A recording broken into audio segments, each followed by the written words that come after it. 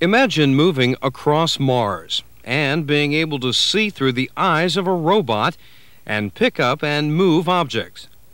Imagine flying through the solar system to learn the order and the movement of the planets. Or imagine entering NASA's Space Station Freedom, where you can explore an orbiting laboratory and grab and manipulate objects.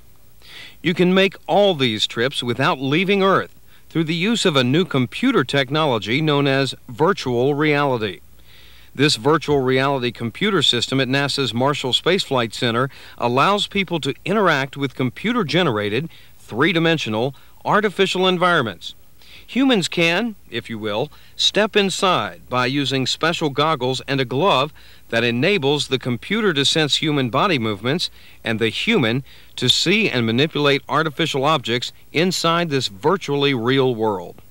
Uh, you actually enter the uh, virtual environment instead of being on the outside looking in. Uh, in virtual reality, you're actually on the inside looking out. When the user looks up or down, or right or left. The image shifts to appear in those locations.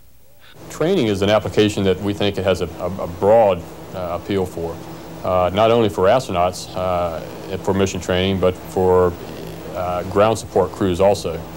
Since its beginning, NASA has relied heavily on simulations.